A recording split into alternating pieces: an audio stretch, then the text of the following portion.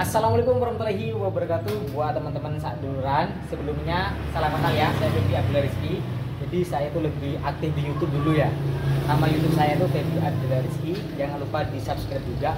Dan hari ini saya itu akan lebih aktif lagi di TikTok bosku. Jangan lupa di follow Febi Abdillah 24 atau Febi Abdillah Klasik. Jangan lupa di follow. Jadi nanti itu saya akan membahas tentang konten-konten sepeda hotel klasik, sepeda motor klasik dan mobil-mobil klasik. Jadi kalau untuk koleksi sepeda hotel saya itu lumayan ada.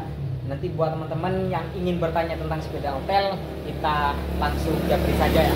Dan di belakang ini ada sepeda Burgess. Sepeda Burgess ini dari Belanda bosku. Untuk serinya seri H. Kita lagi lihat, kita review apa saja part-part yang bagus bosku ya. Kita lihat lagi. Dan buat teman-teman jangan lupa follow TikTok saya ini ya. Jangan lupa di follow bosku. Mantap. Oke, mari kita lihat sepedanya.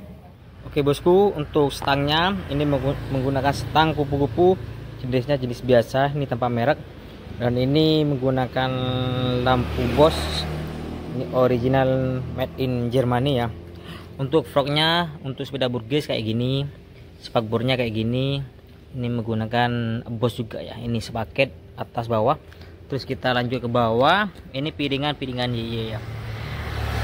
Ini jadi kondisinya sangat bagus. Untuk serinya ini seri ah bosku. Ini seri H4 ya. Jadi ini kondisinya sangat utuh. Untuk video detailnya bisa lihat di TikTok. Di YouTube ah oke okay, bosku. Jadi seperti itulah detail-detailnya. Jika kurang detail bisa dilihat di channel YouTube saya Abdullah Rizky. Di sana ada ya. Sampean bisa cari sendiri sepeda Burgess seri H Febi Abdullah Rizky ya di pencarian itu nanti langsung muncul bosku jika ingin meminangnya langsung japri saya langsung komen saja di TikTok ini atau di YouTube saya. Oke, terima kasih. Salam Febi Abdirah, saat seluruhan, saat lawas ya. Ojo lali follow dan subscribe. Mantap.